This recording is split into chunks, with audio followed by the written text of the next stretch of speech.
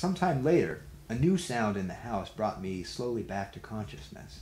The rain had stopped, but there was something else, a subtle noise pervading the blackness around me. I listened carefully as I came awake, but couldn't pinpoint the source. It seemed to come from all sides and sounded like seething. It can't be ants, I told myself, with a nervous mental chuckle. You can't hear ants. Go back to sleep. But the skittering racket continued to grow, and rest was impossible until I settled the mystery.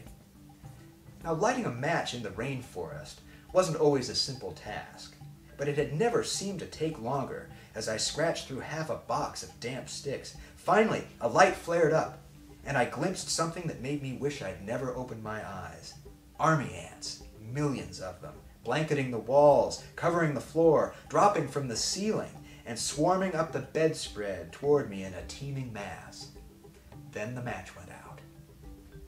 It was a classic horror show image in real life, and I reacted with the same let's leave the weapons here and split up logic that dooms so many movie characters. Without even pausing to think, I let out a yell, grabbed the nearest lantern, and leaped out the window in my underwear.